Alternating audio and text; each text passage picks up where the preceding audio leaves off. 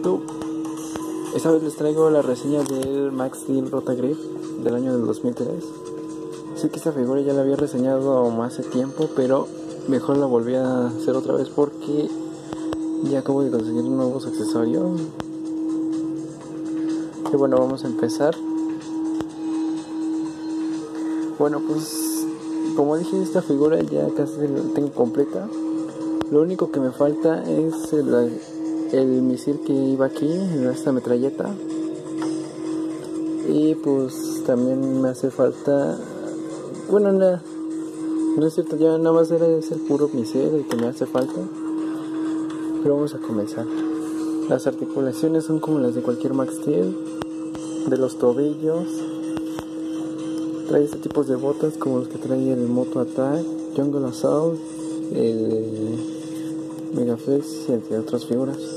Trae articulación de rodilla, extensión de compás y de piernas, como las de cualquier Max Steel.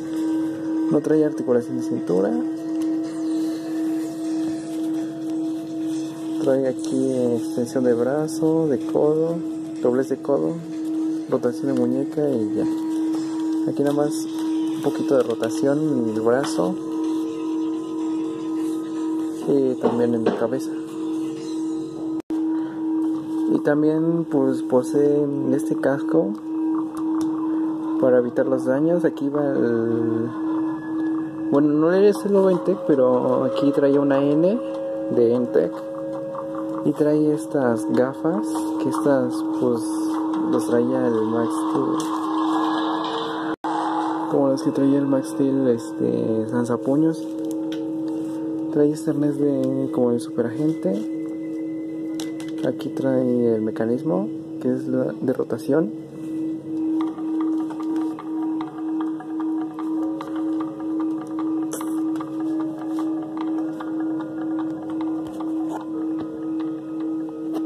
Bueno, el chiste es que rotaba. Y bueno, ahora sí, es que lo tenía apagado. Le vamos a hacer eso. Vamos a poner la metralleta.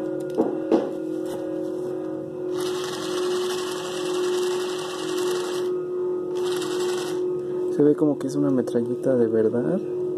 Muy padre. Con este accesorio.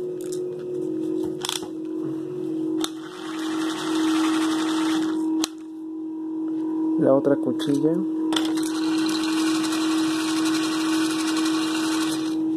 Y también el escudo de energía.